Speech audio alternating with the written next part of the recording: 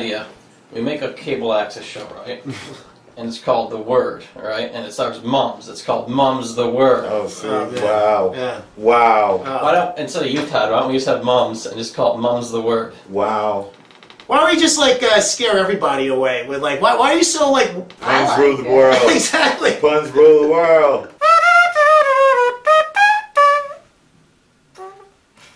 Blkhat? Why should I interview you? Well, I'll give you two reasons why. This first number is Should Have. On three. One, two, one, two, three. Should have taken a chance on you. Now I'm sad and I'm feeling blue. The world is mean, it's so cruel. Should have taken a chance on you, on you. Should have taken a chance on you. I need love, love that's pure. To fight the suffering, yes, I need a cure. Hey, should have taken a chance on you. Should have taken a chance on you, on you. Should have taken a chance on you. I should have, but I didn't. Damn. Willow, please don't go. May I do another number for you guys? Yeah, yeah. Before you do, before you do, man, that was cool, man. That was entrancing, man. You, you like, you engaged the, the camera, man. Looks I'm like you're. Yeah. Uh, Yeah. That's what I'm into. Well, you know what's cool though when like uh like when when a performer like gets into that rhythm, you know, like you immediately got into that rhythm, you know, like how long did it take you to like, or is that natural? It's natural. It's natural, right? Yeah. The, the song itself though, like I um, wrote that. where, where did it come from? What's that? What's it called? Um, I wrote that song in 2013, man, Mhm. and it's actually about a tree that I visit every day, a willow tree. Wow. Yeah, I'm very spiritual, and I have a really deep relationship with the tree. So, Willow, I love you. Oh, wait, is that the tree's It's a fucking tree, really. Yo, where's the tree at? Like, I'm not gonna reveal it, but yeah. that's cool, man. Yeah. How'd you feel the spiritual connection with the tree? Like, Uh, I go there and I just receive a lot of like uh, advice and shit, and I got my rhymes from out of the trees. At birth, I popped out of my mom's and did a freeze on the conveyor belt where the real is felt. Fear, pain, sadness. My first emotion. Scoping the goals, break to generate vomit of turn up economic spit. I impose a writ, enforcing the course and climate that define the consciousness. Somebody say no. Somebody say oh. Like having like a relative with schizophrenia, Yeah. I think it definitely like makes you grow up, you know, faster than other people, like other kids. Uh, Where because yeah. like shit's real, Yep. you know, and then you're like, fuck, you know. Yeah. And I think that like yeah, that, that, that pretty well describes it. yeah, and then you, you just get it's almost like you get into survivor's mode, where not just survivor's mode, but like coping mode, yeah. which is survivor's mode, where you're just like, all right, why is this happening? You know, how do I control this? And like I think being a writer too is about almost like controlling your environment, It is, controlling your it is. life, controlling your narrative, Yes, your story. Exactly, it is. Yeah. It totally is, and and that's the thing is everybody comes laden with their own story, um, and it's so hard to break out of the way that you see yourself. And like only through a ton of talk therapy have I not turned into a little mini replica of my easy parents, Mhm. um, because it's I don't know. I mean, Tracy Morgan had. Uh, some schizophrenic relatives, and he sort of credits. Did you read his book? No, no. Um, I, I read I read comedians' books every once in a while, uh, and um, that sort of helped him go to weird places and make weird associations because his his relative I guess was hilarious when he was in his disease, you know.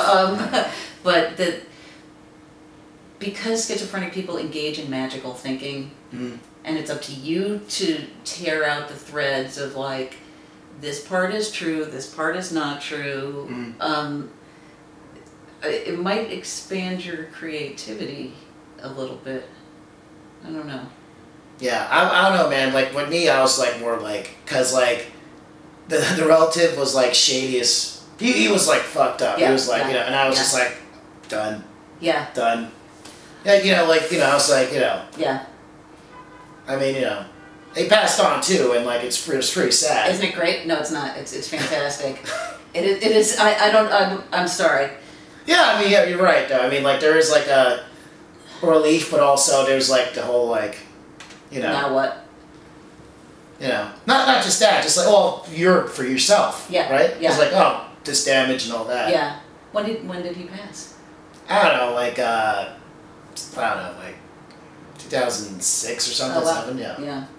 I mean, you know, Young person. He was a relatively young person then. no, you know, I think he was like in his 50s or something. Oh. You know, I think you know, in a weird way too. I think I'm still like coping with that, like how to present that. Yeah. I mean, one day I want to like sort of engage that. Yeah. You know, just Yeah. uh, but. I guess in my own way, I'm still like holding back with that for some reason. You know, well, I mean, just you know, it, shit was real, man. Like I started doing stand up at 17 because Yeah. like, like before that, I was like, I'm gonna kill myself. Like Yeah. at 16, I was like, I was like suicidal. I had like, I was like, what? What's the point of life? Like suffering's like it's you know. Yep. And then like the funny thing was like uh, right before I did stand up, uh, I was actually like um, institutionalized Mm-hmm. well, at 16 because like it, it was just a lot of bullshit going on Yeah. and like you know It's a Like, safe place. yeah, yeah my safe yeah. place to go. Yeah, and like my you know my grand like my grandmother, she know what to like Yeah. how to do it. She's like from like an immigrant from the, you know from an old country, you know, and it was just like being there. I was just like, that was like, what the fuck? Like, what's the point? You know, Yeah. why am I why am I here with these crazy people when you know? And the he's- crazy one. Yeah, and he's been had like tons of stuff like Yeah. in mental, you know. Right. Right. And I was like, wait, why? Like, I'm not that, you know. But, but I just, but you know, what led me to do like the funny part was like, um, I was with the uh, the um, the guy, you know, like the, the- there's like there's always that uh, what do you call that? Like the guy who's there, who's like uh, not an orderly, but he's like the Yeah. the yeah, ground, you know, Right. like he's he's like the security ground orderly Yes, guy yeah. to hang out with you Yeah. and stuff. Walk, you know, like the manager of the day, you know, Yes, or the night, yeah. you know. So like I, he was like this oldish black dude and um, Caribbean, light skinned, kind of looked like Bill Cosby's dad in the Bill Cosby Show Mhm. or his stepdad or whatever, and like. uh I was he, I played chess with him, right? Mhm. So I did this move in chess where I did like um, I did the I king I did like the king thing. Mhm. You know when you, you could like you could do the king thing, right? Yeah. And then he was just like, "You can't do that. That's not. That's against the rules." And I'm like, "No, it's not. That that's in the rules." That's yeah, and then he goes, "Oh yeah, who's in here and who's out there?" Uh, I'm the one out there, and I'm like, "You're using that to cheat?" yeah. And I was like, "That's hilarious," you know, like. So I think that part of it, like, let me. Be I'm like, "Dude, this is absurd. Like, you're like, and you're being petty, you know. That is the only thing. That, that is the only thing that saves it. Is the absurdity. Yeah. Is, is, is that he is that it, it just it's it stops seeming real because it's just so incredibly the opposite of what should be happening. Um, I mean, I, like I, I'm still dealing with my mom's death, which was in 2012 too, but uh, I think it's really important. I do a lot of speaking with at-risk youth because I was an at-risk youth, Mhm. and uh, I tell them like my life got better when my mom died. Mm. Um, it it got better. I was so worried about her. I was so upset.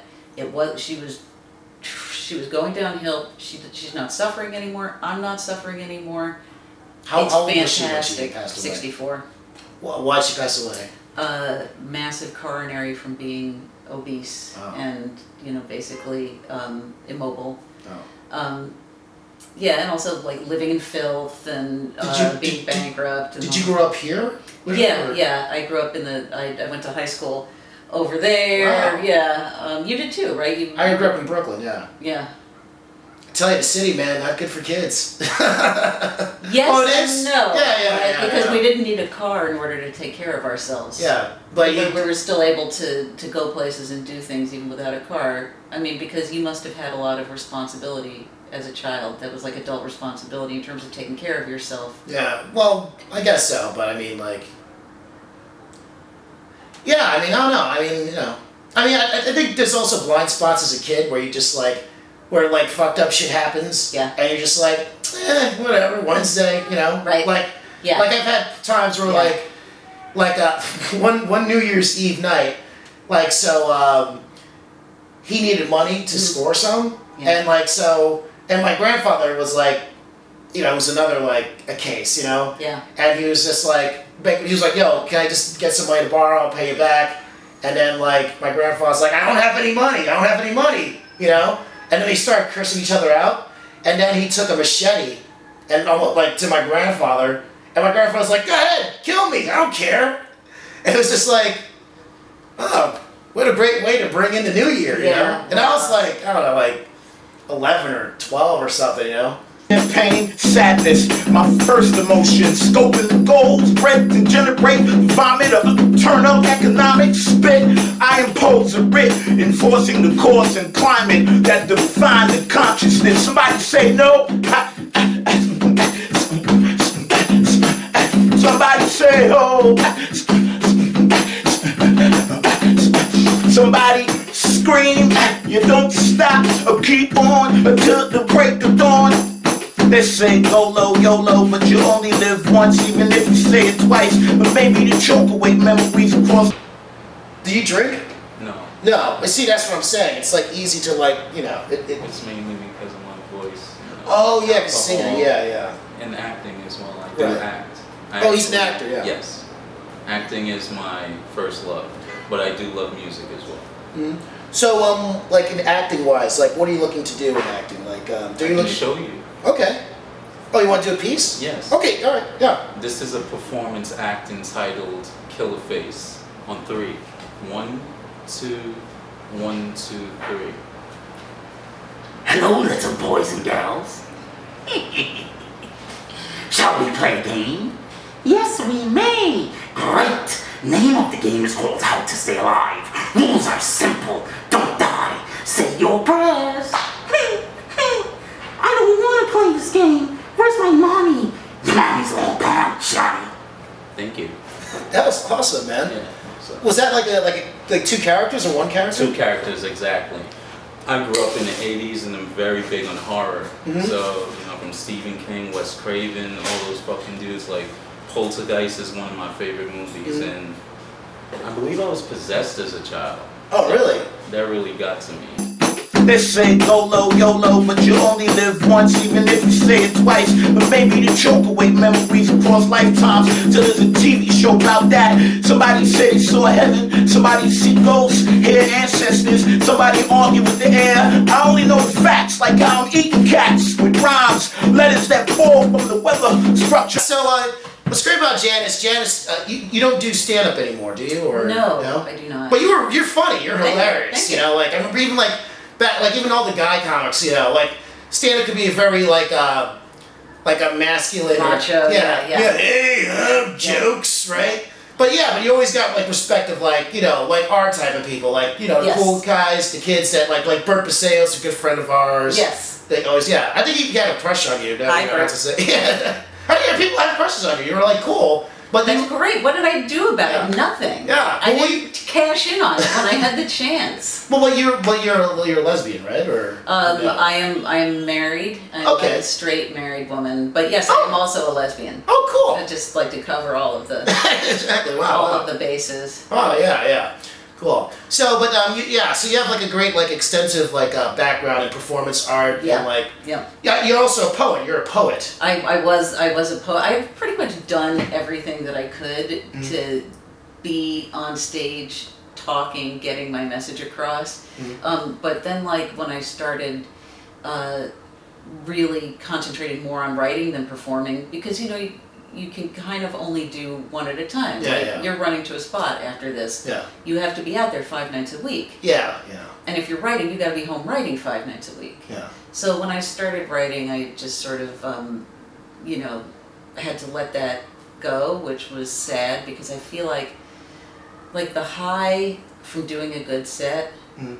is better than any high I have ever had. And I've done a lot of drugs, like, right. and and but also like when you when you just die on stage, it's the worst. Oh, yeah. It is the worst. Such a come down. Worst feeling. Right. Um, Like I couldn't even like when I like if I bombed like I, I couldn't even sleep or like I just like yeah. go like in train like with a bad attitude and people would just look at me like, "What'd you do? Did you kill somebody? Right. What's yeah. wrong with you?" Yes, I did. Me. Exactly. I killed me. Yeah, yeah. Um, I did such a bad set at uh, you know Ray Field. Oh yeah, Ray Field. Okay. He'll probably be watching this too. Excellent. I Hi. Ray. Hi, You, Ray. you killed my comedy career. Aw. No, no. Um, Oh. But I, I, I did a show that was it was just so bad, and I was like, I think this is the last one of these I'm gonna do. Yeah. See, that's the thing too, though. I think a little, a lot of like, well, I'm a writer too. Yeah, You know, yeah, like uh, I think with writing, it's like uh, when you're more focused on that, like you're definitely more sensitive and more attuned to like you know feelings and stuff because yes. you know like it, it becomes a big thing. Yeah. Like like let's be honest, like who gives a shit if you bomb? You know. Right. Like, right. who gives it's a shit? over. It's it's Yeah. But when you're writerly mind, it's become a big like, oh, you know, the gravitas. What does this Right, mean? right, Like yeah. the big picture. Am, Yes. am I faulty? Yes. Is it, yeah. It's, yeah. I still have that too, but like, Yeah. yeah, yeah. No, it, it, it, it's always there. It's always there. It's like it's like nothing stays in the past. If it's if it's something dumb I did, it's always. I mean, and I'll be walking down the street and I'll think of like some time when I said "good morning" or something like that, and I'm like, "Hmm," you know, I cringe and Yeah. and and sometimes I mutter something like like the correct thing that I meant to say. I'll sort of like mutter it, and I'm like this cringing muttering woman walking down the street. Are you Um, obsessed with like editing? Because it sounds like you might be obsessed with like, because like always saying like the right thing or like you know Yeah, not messing it yeah. up. So I could tell like. You know, like what, like I've written like pro- like I, like I, I do shorts like comedic Yeah. shorts and stuff, and I'm actually working on a like a sitcom type of thing, you know, which is interesting. And I'm always like re-editing, re uh, rewriting, writing. Yes. Well, the weird thing to me about stand up for me though, like I like doing stand up as almost like like an oral thing where it's like Mhm. I don't really like I used to write jokes and then like the whole thing and Yeah, yeah. or rants whatever. But like now I'm like more like all right, here's an idea. Mhm. This is where I'm gonna go. Let me just like play with it on stage to make it like sort of like more storytelling, you know. But like not just Yeah. storytelling, but like like I'm telling jokes, but it's not just you know. Hey, Set- blah blah set blah blah punch, blah. set- yeah, yeah. Because yeah. I get bored, and like I feel like if I'm bored, and why would I? Why would anybody yeah. else? Yeah, yeah. There's Uh, not enough money to justify like being a hack, you know. No, I mean, by a yeah. long shot. And, and the thing is that it's like even the people who um, really make it, you know, uh, as as stand-up comics, they live on the road, Mhm. which is like an incredibly hard lifestyle and really kind of like lonely Mm-hmm. and um, just and that's just alienating. that that even that culture is disappearing because there's so many comics out there now. Like, Yeah, yeah. so it's almost like you can't even do that anymore. right? Why? Why? Why would they need anybody to tour? Yeah, Why, why would I need like a road hack if I could have a road hack at like my neighborhood? Right. And my neighborhood, less. my neighborhood road hack. Exactly, You right. have to pay your Amtrak. There, there's probably a guy named that. My neighborhood road hack, My neighborhood road or a blog, or like right. a Tumblr. yeah, dot com, Tumblr, dot Tumblr, dot com. You know, I, you know. I still have like romantic issues about that. Like, you know, traveling and like Mhm. Performing. Like, even when you're a writer, you do like a lot of like. Um, have you been doing like book tours and stuff, or? The book tour thing kind of died in the um, early aughts. Mhm. Like, unless you are a superstar. a superstar. Yeah. people because it, it doesn't really add that much to the enjoy. I don't know. I don't know why. Um, they but oh the internet. That's why. It's Yeah. because it's like oh I don't have to hit the bricks and be out there hand selling copies of my book one at a time. I'll just be here and y'all can order as many as you want online. So like that's that's so I I have gone places. I have been flown a few places to to read or to speak or whatever, and that's great, and I love it, and I um, and it makes me feel cool. But I also feel like homesick, like Mhm. very very homesick whenever I travel for work. Mhm. I don't know why. Just like super super. One time, I took a cab back from uh, um, Albany, New York, at like midnight because I was like, I come home. I called my husband, like, I don't want to come home. They didn't give me anything to eat, and I'm hungry. I hadn't brought brought any weed with me because I was trying to be responsible. So I just I just took the money that they gave me Mm. As an honorarium for speaking and spent it on a cab ride home because. So I I, I- I don't have the constitution for um, for road work. From the designs of the swirls of smoke on the water, erupting the mind, awakening the cause, the hope. But yes, sure, you don't stop. Yes, yes, yes, sure, you don't stop. Yes, yes, yes, yes, you don't stop. A pox. One of those who only bout the hearts in their ball. Precision nice, the sag, the swag, and they walk quick. Before the them feet fold a pot with the meat lost in the glistening of they ice eating cake. Wait a minute, I lost my rhyme. I lost my rhyme. Shit, I lost my rhyme. Get that big going. I don't want to play this game. Where's my mommy? Your mommy's long gone, Johnny. Okay, who's Johnny? Johnny's the little kid. Mhm. Yeah. Are they two both- characters. Are they both together, like hanging out? Uh, somewhat. How I envisioned it is like the creepy old fuck killer face. He's like at this gateway, and Johnny wants to get in. That's all I'm gonna reveal right now. Yeah, yeah. Where do these characters come from for you? From you? Um, in a dream actually. Oh, really? Wow. Was it like a really intense dream, or like? Yeah, it was. Can you tell us about like some of the dream, or you wanna? Uh, it was just a pretty creepy fucking dream. How old were you when you had this dream? Uh, can't remember, but it, yeah, it's just creepy shit.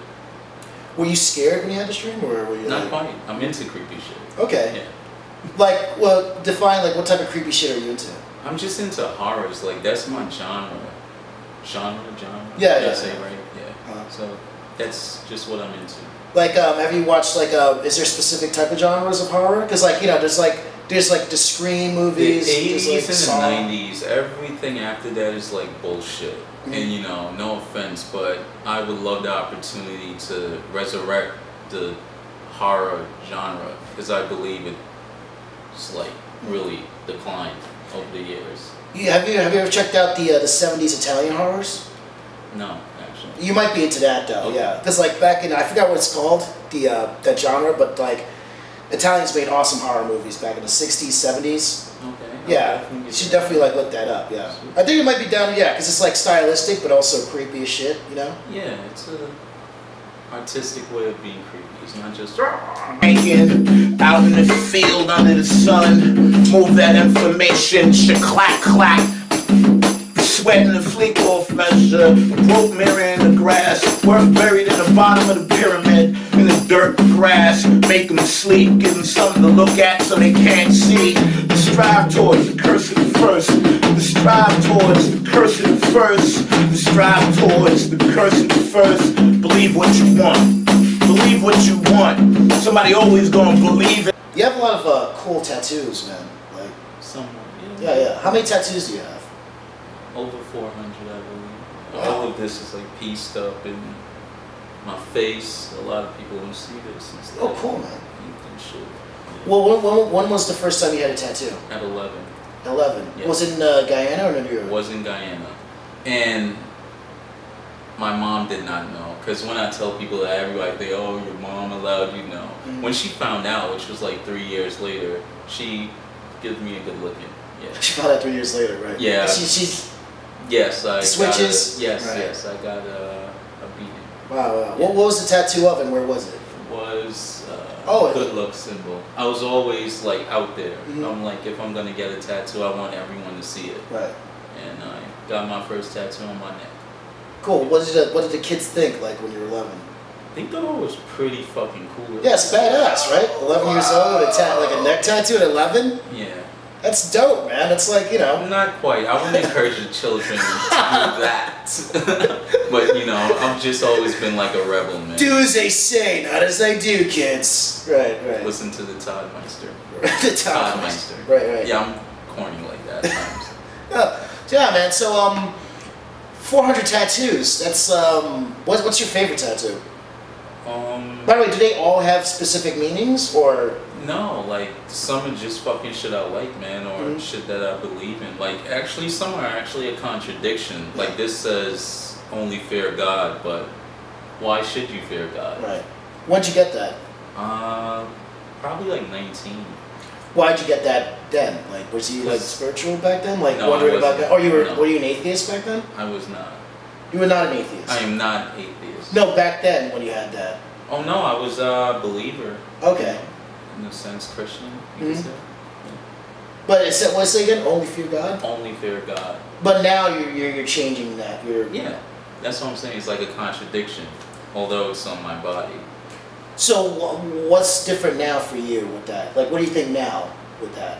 Like, only fear God. That that phrase. What's no, that? you shouldn't fear God. hmm So yeah, I don't believe in this anymore. Would you still keep it, or just as like a? Yeah, I'm just gonna keep it just to rem- remember like how I used to think. Under the beginning of truth is a framed picture of suspicion. Is delving into the opposite of love? Is the cost of doing nothing satisfying and worth saying nothing that exercises a standing on the corner in the night playing? Nothing in the saving. This hot new ringtone deaf life. Nothing is more funkier than a mosquito's tweeter, totter to nothing. We beget nothing, and if we care for nothing, we forget nothing. But something seems to center itself on the science of something in the center of nothing. From nothing is the beginning, the opposite of the end, or nothing and nothing plus nothing equator. Nothing will and nothing want will get us hours as we daze into the nothing contract, where there's a nothing clause guaranteeing us of nothing. 360 degrees Fahrenheit of the middle of the storm of a pristine nothing. We will hate nothing, we will love nothing, but following brick roads to nothing, sitting on nothing, flipping nothing, serving nothing, deserving nothing, will induce fearing nothing, based on people, based on hearing, smelling, seeing, tasting, nothing, humble in nothing, life for nothing, die from living for nothing, indivisible, proximately, purposely placed in the palm of nature and a hole in a place behind God's face where actions go unseen with no mirrors, no comfort, and no fear, with menial efforts to help us see things clear to the things that we can't understand, so we stand for nothing on an electric rug, chasing coins. We the everlasting energy of abandonment, the invincible, invisible, entering that end ring resonated in religiosity, burning spirituality onto the soul to decide the fate of the flesh for free thought, freestyled off the top of nothing virtuous, nothing potent, nothing brave, nothing pure, but the Lord, nothing higher till there is nothing higher than nothing. It's more than negative. Relative to rhythm, wisdom, visions in the vicinity of the vial, masked with style, staring in the mirror at nothing and seeing everything, pounding at the levee of truth to everything real, begging to be touched, but not knowing how to feel, empty in that grand illusion, colluded with desire, coloring a characteristic burnt onto a generation, generating a severe hating of the God side of self. I ask you, is this the end? This is the end.